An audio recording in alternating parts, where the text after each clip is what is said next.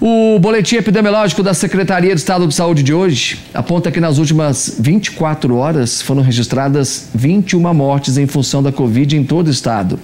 O boletim com a atualização da manhã de hoje, mostra que são 55.613 óbitos. Ontem eram 55.592.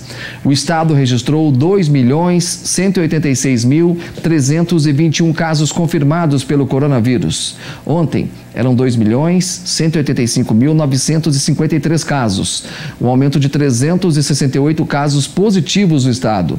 O informe aponta ainda que até o momento são 20.731 casos em acompanhamento.